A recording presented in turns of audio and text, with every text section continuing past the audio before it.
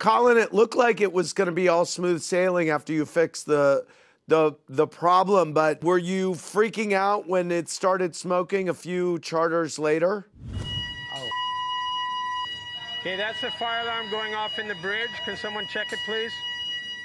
Yeah, um, again, that is the shaft inside the turbine snapping. That's just a freak accident, and that took a long time to troubleshoot. All we saw was like oil dripping out of the turbo.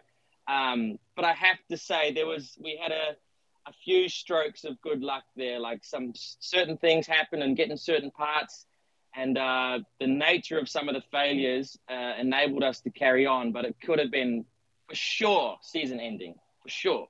Colin, why were you so annoyed when Gary barged into the engine room when there was smoke? Look around everywhere if there's other smoke. See it, it's yeah. So the engine uh, engine room is my department. Uh, I'd been I'd known about this issue for days. Uh, I was monitoring it. I was right there in the control room. And uh, he just came down in a bit of a panic and pushed one of the cameramen out of the way. Move out my way. Move out my way. It was just a little bit too frantic in my space. That, that's how I feel about the engine room. No one knows how that engine room runs and what's going on in there like I do. No one. So that's that's my space, and that's I'm in complete control Fair of it. enough. I've worked it's, on the uh, boat for three years. If there's a fire in the engine room, you've got to find out what's happening. Sorry, bro. but- Yeah, and I was watching it. That's the point. So uh, we don't need anyone panicking on the boat. Uh, I had it un- under control, and and I wasn't voiced my concerns to him. Okay. Yeah, you did. So you just want to watch a fire burn on a boat, basically. Is that what you're saying? Wasn't a fire, Gary. I don't know why you want to argue about this. I was watching that exhaust. We're just burning off a bit of smoke, and the alarm went.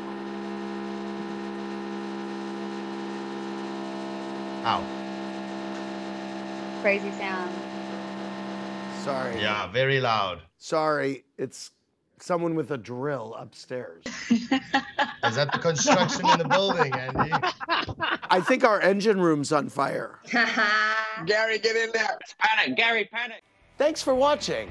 Watch more clips here and subscribe to our channel here. See ya.